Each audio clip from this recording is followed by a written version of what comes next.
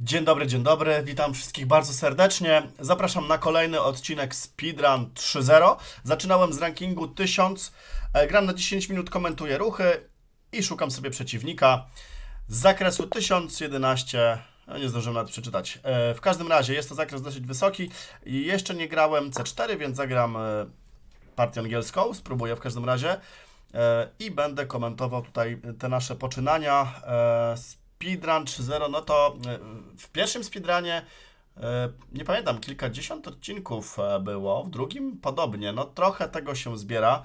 W playliście Speedrun i Speedrun 2.0 są wszystkie odcinki, zachęcam, jeżeli ktoś lubi oglądać oraz w playliście 3.0 też będą się za, będą, będą te odcinki em, aktualne. Y, Jest posunięcie E5. Jest y, teraz taki ciekawy ruch jak skoczek F3, żeby od razu atakować i prowokować do tego, żeby przeciwnik zagrał E4. To nie byłoby groźne, bo zagrałbym skoczkiem do centrum i tam się nic absolutnie nie dzieje. Y, No teraz zagram skoczkiem naturalnie, żeby jednak teraz bronić, bo widzimy, że skoczek obronił pionka i pilnuje pola D4, więc E4 już było możliwe, teraz nie jest. Y, No, normalna sytuacja. Widziałem takie rzeczy jak skoczek F6 i E4 na przykład, ale trochę mi się E4 nie podoba, bo puszczam y, tutaj pola. Bardziej mnie interesuje takie posunięcie i chyba tak zagram w ogóle. E3, tak ym, aż się prosi o takie posunięcie, żeby za chwilę zagrać D4. Ewentualnie A3, B4, taki jest plan. Jeżeli się uda dojść do ruchu B4, to w ogóle będzie super. E, I zostawię na przeciwnika małą pułapkę. Mianowicie zagram A3. Jeżeli będzie E4, to skoczek G5, znaczy to jest taka pułapka, nie pułapka można powiedzieć, i ten pionek będzie do wzięcia. Przeciwnik e, nie chciał E4. Dobra, mam B4, więc super. Tutaj należałoby wcześ, wcześniej zagrać takie posunięcie jak A5, ale to nie poszło. E, Więc poszło B4 od razu. Ok, mogę tak grać, ale jak goniec ruszy tutaj, to potem przeciwnik będzie mnie podrywał e, ruchem D6. Jeszcze się tak zastanawiam, C5, B5 albo w odwrotnej kolejności. Nie, w odwrotnej kolejności to nie. Zagram posunięcie hetman C2, tak żeby nie było ruchu E4 dosyć, myślę, że mam nadzieję, że sprytnie. E, tym ruchem goniec D6 też przeciwnik sobie przyblokował gońca z C8, więc e, to jest taki mały plus dla mnie, tak mi się wydaje. E, no właśnie, przeciwnik planuje takie posunięcie i to jest ruch już taki mało przyjemny, ale to jest dobre posunięcie w ogóle, bo goniec też na F8 fajnie gra. Taki ruch mnie interesuje i taki ruch trzeba analizować. I co wtedy, e, drogi Watsonie? Tak, zagrać tu, tu się trochę komplikuje. Mm, Teraz tak myślę, czy nie zagrać goniec D3 w ogóle i teraz nie będzie takiego posunięcia. Myślę, że zagram goniec D3. E, E4 nie ma, bo pilnuje, pilnuje, pilnuje i wszystko się zgadza. A wyprowadziłem figurę i teraz będę chciał grać G4, G5. Takie ostre rzeczy, żeby tam uderzyć później na H7. Taki jest plan. E, On oczywiście może spróbować zagrać hetman E7, ale wtedy mogę mieć taki ruch jak skoczek H4 i tutaj. E, Co ja w ogóle gadam? Po takim ruchu jest C5 przecież. Dobra, zostało zagrane A4. To jest bardzo dobry ruch. Muszę przyznać, że przeciwnik dobrze... mm, Dobrze gra, znaczy dobre ruchy wykonuje. No tutaj B5 muszę. Puszczam pole C5, ale to myślę, że teraz jest mało istotne. Skoczek musi zejść na pasywną pozycję. Yy, I teraz zagram ruch G4. Aż się prosi takie posunięcie. Po wybiciu mam zawsze strzała tutaj, ale moim głównym celem jest to, żeby wieża G1 ostro sobie grała. Oczywiście też trzeba wziąć pod uwagę, że mogłem wyprowadzić ostatnią figurę i to może byłoby też dobre, a nawet lepsze, e, ale niech już po tym ruchu przeciwnik sobie tutaj zaczyna kombinować. E, Tego pionka oddaję w ciemno e, kompletnie, bo mm, już mam taką wizję, że wieża G1 zagra i zawsze będę tutaj próbował przeciwnika atakować. Nawet jeżeli pionek stanie na G6, to mam tutaj artylerię, żeby próbować to zbić, ewentualnie H4, H5, coś w tym stylu. No To już taka zaczepka jest na fajną wojnę. Zobaczcie, że też przeciwnik nie może ruszyć figurami, ale goniec już się szykuje na to pole. To jest sprytne, sprytne zagranie. E, No i teraz tak chyba mogę zagrać. On mi wtrąci. Tego wtrącenia się bardzo boję, bo jeżeli zagrałbym tak i on by gdziekolwiek odszedł, to mam bicie tu i zawsze zasłonę skoczkiem albo tu. Zagram tu, on mi zagra tu i to nie będzie chyba przyjemne. Y, Więc mogę chyba tak zagrać, to będzie przyjemniejszy ruch. Jeżeli on teraz zagra tak, to ja skoczkiem mogę zagrać tutaj i sobie wejść tak. Albo potem G5, to w ogóle będzie fajne. E, Okej, chwila, nie przewidziałem E4. Dobra, muszę i tak zagrać w ten sposób. E, jeżeli E4, to po prostu ucieknę na E2. To też się wszystko trzyma. E, trzeba brać pod uwagę taktykę, czyli bicie na G4, wieża bije G4 i tutaj bronię. Dobra, i teraz też to się trzyma. Oczywiście goniec może zagrać tu, on się za chwilę rozwiąże. Będzie tak planował, ale też o, yy, tego nie widziałem. tego nie widziałem, się przyznaję bez bicia. Czy taki ruch, czy taki ruch? Pytanie, czy, czy wieżę na wolną linię? Puścić, bo goniec broni. Yy, ale chwila, zagram tu, on mi zbije tu. Yy, jak ja tu, to on mi tu. E, wieża G2. Wieża G2 niech będzie. Będziemy się trzymać. Pionek mniej, ale już jest plan. Goniec B2. Wie, zrobimy szybko długą roszadę i kolejna wieża wejdzie do gry. Dobra. Ale muszę przyznać, że bardzo ciekawie gra e, mój przeciwnik. Naprawdę z takim, e, no, dobrym zrozumieniem, wbrew pozorom. Może coś tam było, można zagrać lepiej, nie wiem. E, to trzeba przeanalizować. Goniec B dawa od razu, bez zastanowienia, nawet nie gram tak. Ważne jest to, że zaraz, on tu może, tu może, tu będzie mi atakował, ale chodzi o to, żeby jednak szybko zrobić tą długą roszadę, żeby ta wieża z A1 grała. To jest konieczne. No oczywiście bicie na C3 jest kompletnie złe, kompletnie. Hetman wybija i tu mam piękną, piękny strzał po diagonali, więc na pewno nie może zbić. Jak zbije, to kompletnie będzie źle, ale on o tym wie i tego nie zrobi. E, więc ważna figura goniec E2, pilnująca e, tutaj ważne pola, w razie czego, bo czasami jest tak, że zagra tutaj pionek, wejdzie skoczek, później tu skoczek jakoś tam wleci, powiedzmy, z takim planem i co? Wieża E6? Wow. Oryginał naprawdę niesamowity. Dobra.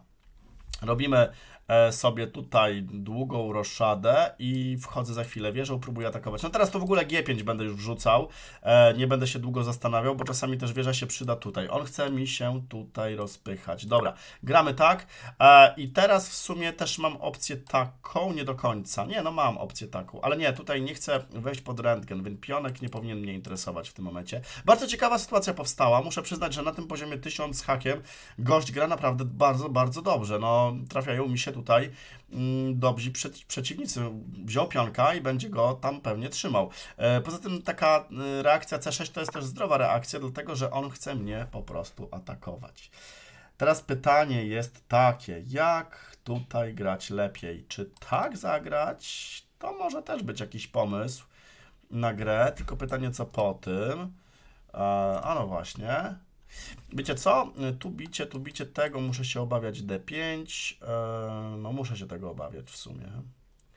Mogę też tak zagrać, ale bicie, bicie, D5 tak będzie mógł zagrać. E, to ciekawe się porobiły tutaj rzeczy teraz. Może zbić w ogóle i mieć to z głowy? To też jest jakiś pomysł. Skoczek zbije, skoczek gdzieś wejdzie. Dobra, zbije to mimo wszystko zbije. Zobaczymy, jak zareaguje, żeby jednak pionek mi tutaj może trochę przesłaniał linię C. Tak sobie to teraz y, nad tym myślę. Y, ok, teraz nie widzę jakiejś konkretnej drogi do tego, żeby go spróbować tutaj mocniej atakować. No nie sądziłem, że będą e, aż takie duże problemy na tym poziomie, ale dobrze, dobrze, dobrze, to, to się tutaj uczymy. Goniec zbił, ok, no więc y, wprowadzę chyba wieżę bierze na H1 wprowadzę. Tak, żeby trochę go postraszyć. No i teraz jakiegoś skoczka sprowokuję, może G6 jakieś, że skoczek wejdzie. Po prostu wprowadzę skoczka, może później tutaj. Teraz już D5 nie jest takie atrakcyjne, bo po prostu wybijam i e, on nie ma białopolaka.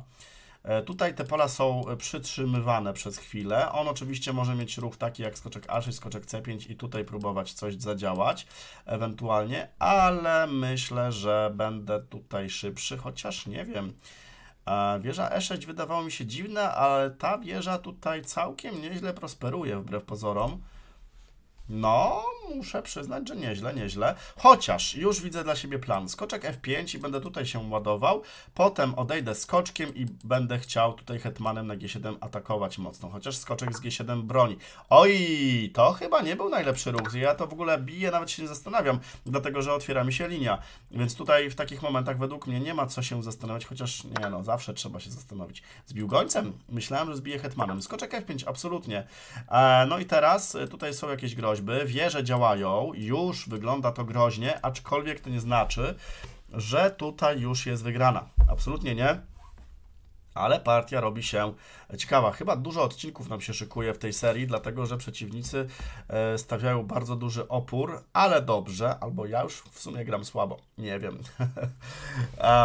no, dojście do 2400 to też będzie oczywiście e, wyczyn znowu, ale raz się udało, to dlaczego ma się nie udać po raz kolejny? E, już w pierwszym odcinku zakładałem, jaki tutaj jest cel. W sumie to nie wiem do końca, jaki będzie cel tego speedruna. E, teraz taki ruch mi się narzuca bardzo. Jeżeli wybiję, to super by było, ale nie tak zagra, tu zagram. Ok, to się trzyma. Taki ruch się narzuca, on odejdzie wieżą, ja zbiję, no i tylko tyle. Mm, tyle albo aż tyle. Czy coś tu lepszego mam? E, no bo już muszę sobie rozważać na przykład takie ruchy, ale to też nic nie daje.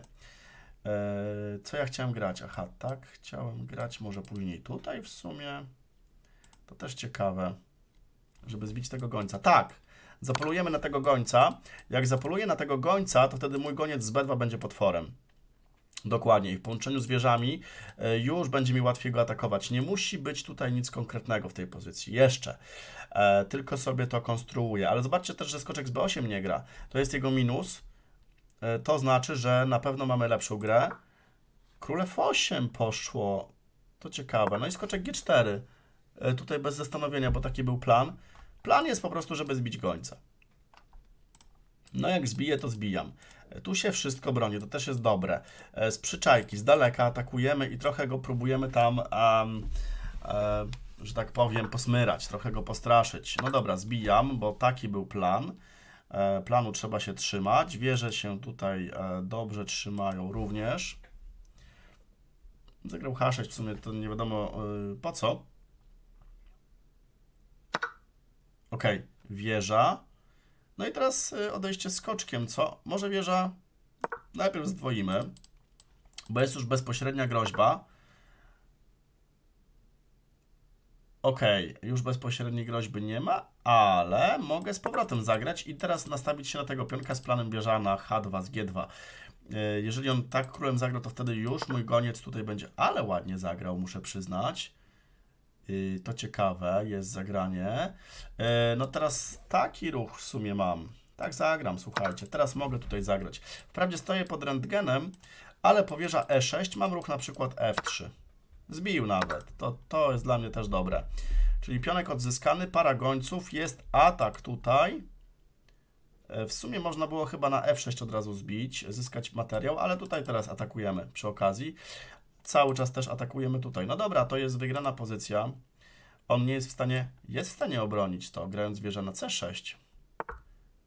Jest taki ruch. Dobra, szkoda mi trochę tego gońca ale jednak co materiał to materiał, dlatego że mam dobre posunięcie D4, które nie pozwala hetmanowi później tam poszaleć, a później zagram hetmanem na F3, żeby próbować wymienić i ewentualnie wrócę wieżami do łask i będę e, się tam, może nie bronił, ale będę starał się kontrolować opcję taką, żeby mnie nie, mocno nie zaatakował. Pionki w centrum są to dobrą osłoną, zagram tak y, później, bo y, prawdopodobnie on zagra wieżą, dokładnie, hetman F3, hetman G6, Taki ruch jest, ale on tam nie wchodzi jeszcze nigdzie, więc mam czas na jakąś koordynację. Nawet takie posunięcie chodzi mi po głowie, żeby gońcem zagrać i myślę, że to będzie nie, naj, nie najgorsze. No, wymiana w ogóle jest dla mnie super, e, on nie może wymienić, dokładnie. Gram gońcem, gram królem i gońcem za chwilę na d3. No i tutaj już hetman sobie nie poszaleje. A chwila, on jeszcze ma takie zagranie. To jest ciekawy ruch bo do pionka się dobiera i będę musiał po prostu zagrać wieżą, żeby tego pionka obronić. Ale nie zagrał. Są widełki, on zagra tu, więc widełek nie ma, ale najpierw tak. On chyba chciał tak zagrać. Jest najpierw wtrącenie.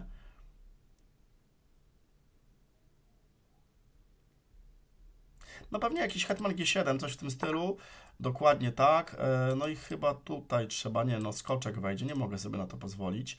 Pytanie teraz, jak zaprogresować dalej. Nie muszę nic na siłę, nic nie muszę, wszystko mogę. Yy, może hetman g4, tak, żeby tutaj przypilnować. Yy, jeżeli wieża zagra tutaj, to mam bicie na d7. Yy, troszeczkę tak skoordynowałem, skoordynowałem sobie hetmana. Mam nadzieję, że nie, nie najgorszy ruch. Może F4 grozi teraz. O właśnie, właśnie, właśnie F4 będzie chyba groziło. Tu jakieś D5, coś tam. Dobra, F4. On nie może, bo tam. Dokładnie, może jakieś F5 nawet. Potem tu, chociaż będzie wisiało, ale fajnie byłoby zagrać E5. Y, Ewentualnie po prostu bicie i otworzenie kolejnych linii do ataku, chociaż nie chce mi się tak do końca otwierać tej pozycji. Mogę zagrać F5 i e, sobie dalej mm, próbować stać, albo, y, no właśnie, albo spróbować, ale chwila, podstawił mi wieżę, prawda? No właśnie, to takie dosyć niezauważalne. Wieża stała dosyć nietypowo. Podstawił wieżę, więc e, no, tutaj już chyba jest po temacie. No jeszcze gra. W następnym ruchu zbijam tutaj skoczka, jeżeli na to mi pozwoli. Ewentualnie jak zagra skoczkiem, no to mam e, bicie też na H6. No teraz to już jest ogromna przewaga, podstawił wieżę. W końcu, prawda, coś podstawił. Nie, ale muszę przyznać, że naprawdę e, gość grał e, mądrze, w miarę mądrze na ten ranking, bo ja patrzę tylko na ranking i tak oceniam e, po sile gry, to naprawdę tu jeszcze sobie wybiję. Im więcej wymian, tym lepiej. Tutaj wybiję. Tutaj na G5. No to mamy szacha. Kolejne. Bicie. Skoczek już nie ma dobrych puls, bo zawsze tego skoczka zbije, gdzie się nie poruszy. Dokładnie. I jeszcze na końcu jednego pionka sobie chapnę.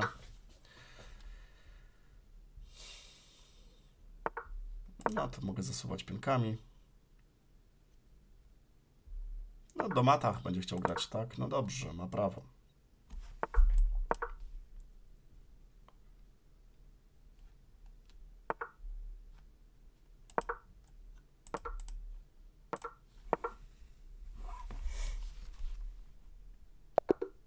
Dobra, mamy to po y, ciężkim boju. Dobra, lecimy dalej. Szukamy sobie losowego zawodnika. Gramy czarnymi, 1041.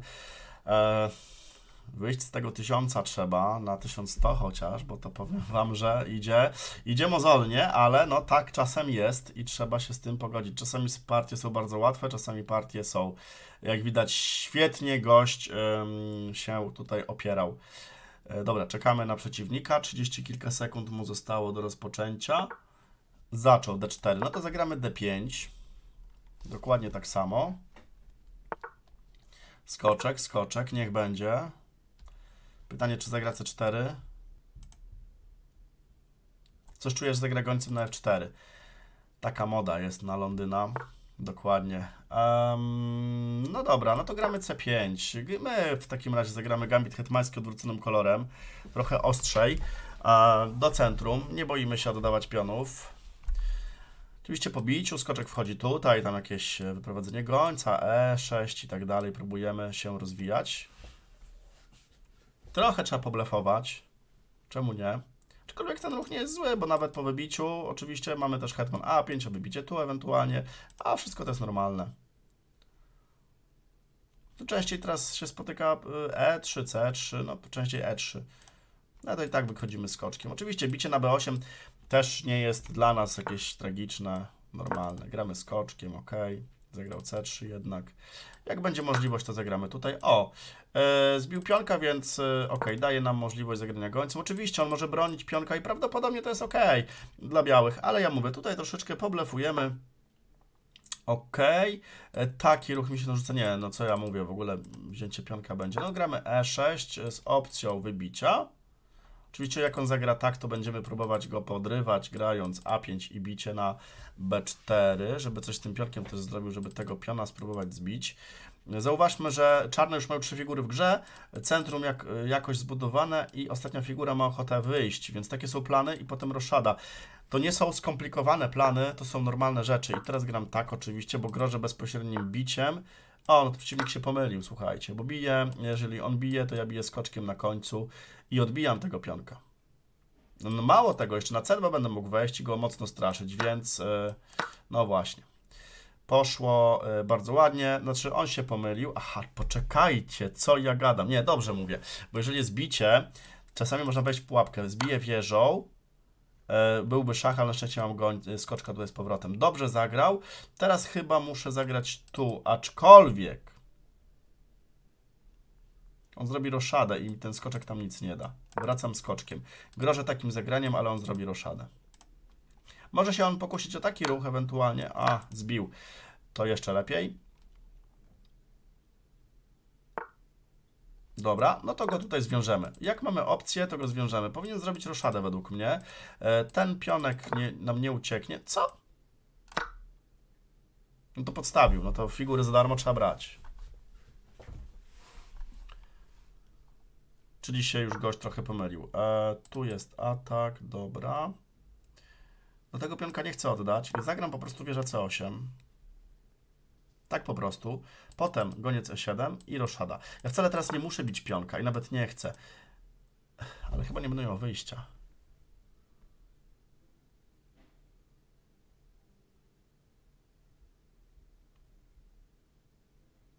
O, ładnie zagrał. Bardzo ładnie zagrał. Mm. Bardzo ładnie zagrał. Mimo figury mniej, muszę uważać, bardzo uważać. Yy. Znaczy figury więcej, przepraszam. Yy, no właśnie, bo tutaj się robi niebezpieczny atak. I teraz tak, jak zbiję tutaj, on wejdzie wieżą. Ja zagram tak, on zbije i jest problem. Chociaż no będzie problem. Bo nie mam roszady zrobionej, to jest problem właśnie za cenę figury. Niemożliwe aż, że wzięcie tak prosto figury mm, zaprzepaszcza mi taką przewagę. No taki ruch jeszcze widzę, aczkolwiek jest tutaj i jest w ogóle atak tak. Brakuje mi tempa, bo jak miał gońca tutaj, to już bym zrobił roszadę. No może gońcem tu, tu, ale nie no, roszada to jest bicie tutaj. Tutaj może, ale to wtedy on wierzą i są, są problemy. E, ciekawe, no taki ruch jeszcze y, rozpatrywałem. Jak bicie, bicie i tutaj szach, to tu, jak tu, to lipa. Wow, nie mam dobrego posunięcia, tak naprawdę mnie zaskoczył. Tego się nie spodziewałem. No dobra, trzeba jakoś sobie z tym poradzić. Ale poziom jest na tym 1000. Naprawdę poziom, jakby zawodnicy mieli co najmniej z 800 punktów więcej. Minimum 800 punktów więcej. Fakt, że podstawił figurę, ale dalej gryzie i się nie poddaje. To jest dobre. To jest dobre w tym wszystkim. No chyba muszę zbić tu, wieża C1, tu rozpatruję. Jak skoczek zbiję, bo to jest najgroźniejsze, to chyba skoczek tu. Aj, to paskudnie wygląda bardzo. Hmm. A, Krzysztof, żebyś ty zaraz tu nie przegrał. E, chyba tu. Nie, no wieża C1 wtedy. Ale może trzeba oddać figurę. Tylko gdzie mój hetman ma uciec wtedy? Ale chyba tak, chyba muszę oddać figurę. Chodzi o to, gram tutaj, żeby tylko i wyłącznie zrobić szybko roszadę. Y, on na pewno zagra wieżą, to bez dwóch zdań, a wtedy zagram wieżą tak. O, mam, y, mam ratunek, słuchajcie. No właśnie, bo aż mi się wierzyć nie chciało, że mogę mieć tutaj przewaloną sytuację. Chodzi o to, że szybko król musi się schować i połączyć się z wieżą. Jeżeli on zagra, ha, bo on może tą wieżą zagrać, to jest lepsze zagranie, bo chodzi o to, że jak on zagra tą, y, to ja mam tutaj ruch. No to pograł gość źle, co nie? Bo teraz robię roszadę i jesteśmy w domu. E, co znaczy tak, pograł źle, bo jeżeli zagra tak, E, no to oczywiście ja zagram tu i on mi zbije gońca i tego jestem świadomy. E, lecz po tym ruchu można się pomylić. E, zagram hetman na b2 i to też jest dobrze zagrał. Ale dobrze zagrał, naprawdę. Wow, jestem pod wrażeniem. Chwila, mam taki ruch jeszcze. Dobra, dzisiaj jestem ślepy, słuchajcie. Na szczęście znajduję w ostatnim momencie ruchy. Hetman A3, tak. Taktyka przede wszystkim, bronie, wszystko się trzyma. Dobra, jest figura więcej. Nic się nie dzieje, nawet skoczek E7 nie działa jest figura więcej. Ok. Wszystko się trzyma. No ja tak na wieżę, gdzie wieża ma pójść? Tu, tu, tu, tu, tu, tylko na C3 może ruszyć. Jak ruszy na C3, to zagram skoczkiem, on mi zbije dokładnie, zbije mi tu, ja mu zbiję tu. I im więcej uproszczeń, im więcej wymian, tym lepiej dla czarnych w tej sytuacji. Dobra. No, wyszliśmy z takiej małej opresji, ale można się pogubić w pewnym momencie, jak widzieliście, jak gość zaatakował. Naprawdę. E, niesamowicie grają zawodnicy na poziomie 1000. Naprawdę tutaj się spotkałem już chyba trzeci raz z dobrym oporem i z ciekawym, z ciekawym myśleniem. Yy, można stwierdzić i wyciągnąć taki mały wniosek, że poziom w szachach jest coraz, coraz wyższy.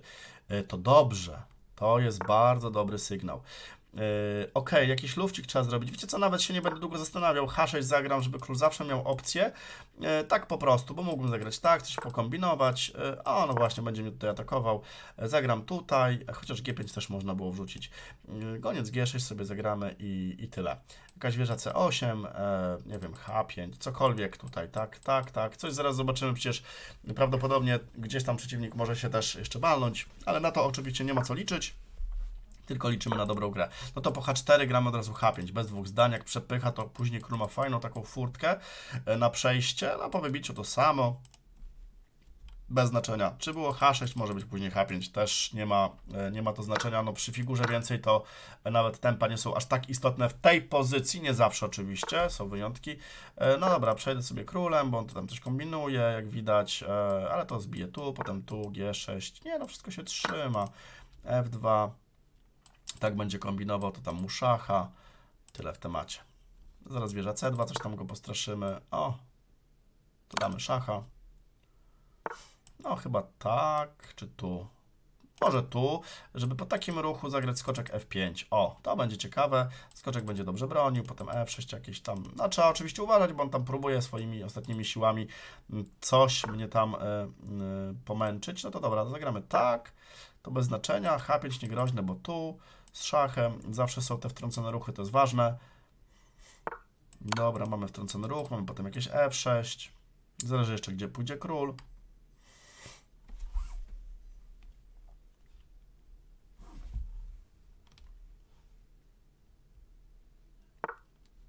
Tutaj poszedł król. A to ciekawe. Um, jakąś siatkę matową, co? Trzeba mu zasadzić. Może tak zagramy. Tak zagramy. Oczywiście trzeba uważać na taki ruch. Tu będzie atak, ale mam wtrącone posunięcie z szachem. Potem ewentualnie tu wymiana e, na G5, więc to wszystko działa taktycznie. Jeszcze e, tutaj teraz, teraz widzę, wcześniej nie widziałem. Ok. No to się powinno wszystko już teraz e, udać. Znaczy na pewno się uda, jak e, jakiś misklik nie powstanie, e, ale to to myślę, że już będzie ok. No jeszcze przeciwnik ma 4 minuty. No zobaczcie, że e, właśnie e, takie zjawisko małe e, zauważyłem, ale to już dawno, dawno oczywiście teraz tym dziele, że grasz prawidłowo w szachy, grasz, wyprowadzasz normalnie figury i przeciwnik cię zaskakuje jakimś ruchem. I trzeba sobie zadać pytanie, jeżeli masz świadomość tego, że dobrze zagrałeś oczywiście, no to nie ma takiej możliwości, żeby przeciwnik ci w jakiś taki sposób od razu zniszczył pozycję albo cię jechał, jeżeli ty dobrze rozegrałeś debiut. Nie ma takiej możliwości. Choć pozornie czasami pozycje są takie, że wygląda źle, to trzeba sobie uświadomić, że nie gram źle i na pewno jest jakaś obrona. To był dobry przykład, y, uważam. Mimo, że wziąłem figurę, to już się pojawiły problemy, ale faktycznie była obrona, więc y, no, ta figura więcej jednak to jest, to jest dużo. No właśnie, o tym mówiłem, tutaj trzeba dać szacha. E, tu nawet e, przeciwnik tak zagra, to mam taki ruch, przecież biorę wieżę za darmo, a po wybiciu po prostu tutaj odbijam. No i hop. Dobra. No i zagrajmy sobie kolejną partię. Może tym razem E4, może coś ostrego. Gambit królewski, niech będzie. Gambit królewski z gońcem na C4. Czekamy na hetmana, to się bardzo narzuca. Król F1 czuje się tutaj bardzo bezpiecznie, przypominam. E, potem skoczkiem na F3. O, nawet zagrał bardzo fajnie. Oczywiście narzuca się goniec C5 z opcją dania mata, e, ale wtedy mamy ruch po prostu D4 e, więc się nic absolutnie nie dzieje, a za chwilę gramy skoczkiem z tempem. No, no, właśnie, zobaczcie, no to jest bardzo zły ruch, bo to mi daje kolejne tempo do tego, żeby swoją pozycję zdecydowanie poprawić. Bo już mi się otwiera goniec, za chwilę gram skoczkiem, hetman musi się znowu pultać, a ja wyprowadzam sobie dalej skoczka, potem gońca i jest pięknie. Koniec B6 z nadzieją, że tam zagramy pewnie D5, jakaś e, odsłona, ale nic z tych rzeczy. E, tutaj tak, no to skoczek, po prostu bronimy i tyle. Ten pionek nie ucieknie, chociaż on może zagrać G5, e, ale ja wtedy mam na przykład strzała takiego na D5. No dobra, poszło tak, więc gramy gońcem na F4. No zobaczcie, wszystkie figury w grze za cenę deroszady, ale król tu jest bezpieczny i ja nie muszę... Co? No to bijemy. Czyli to jest oddanie kompletnie pionka za darmo, bije skoczkiem i tu się robią już problemy. E, on musi zejść z linii, w ogóle nie może tu zagrać, bo skoczek C7 na przykład. Zaraz dam szacha, wejdę wieżą i gość może mieć problem. No zobaczcie, rozwój figur jaki jest potężny. Ym, tu się bardzo narzuca, ale nie mogę. Tak, damy szacha. Tu będzie opcja, ale skoczek wchodzi. Dobra, nie zyskuje nic. Skoczek E7. Um, podskoczek E7. Co? Naprawdę? Aż tak? Nie, no to wchodzimy drugim skoczkiem. No tutaj już te skoczki terroryzują przeciwnika kompletnie. E, jakiś tam hetman E8 chyba musi zagrać. No na pewno pozycja nie jest e, różowa do przeciwnika. No tutaj wybijemy, potem wybijamy tutaj. No to już koniec gry. Chyba najprościej tak w ten sposób. A Gambit Królewski oddał bardzo szybko, bardzo szybko. Ale chyba przeciwnik nie był za bardzo zorientowany. Co i jak. No tak jak mówiłem, na poziomie około 1000, 1100 powiedzmy, pięknie grały, grali przeciwnicy, a tutaj e, no tutaj już nie pięknie powiedzmy. No to, to normalne. Najlepszym się zdarza, więc e, to są tylko szachy, to ma cieszyć, uczyć. E, no i jeżeli ktoś dzięki temu podniesie swoje ambicje, no to też fajnie, prawda? Fajne. Szachy są o tyle fajne, że można grać w nie całe życie i na fajnym naprawdę poziomie. Teraz się zastanawiam, jak go tutaj oszukać na koniec, tylko to jest tak, mogę wziąć wieżę, mogę wziąć materiał, jest świetnie, szukam jakiejś ładnej opcji, żeby go zamatować. Szach, król pójdzie tu, no dobra, to musi się zgadzać, potem tu, nie, tu, tu, dobra, to się zgadza, dobra, damy szacha. Intuicyjnie, to musi, za dużo figur jest w grze, żeby przeciwnik mógł się jakoś tutaj y, ogarnąć. No tak, o, to jeszcze lepiej. Mata nie ma. Zaraz, czy jest mat tutaj? Nie ma, bo król zagrywa na F6, ale potem dajemy mata chyba tu. Mat w dwóch. Hop. Tak i tak.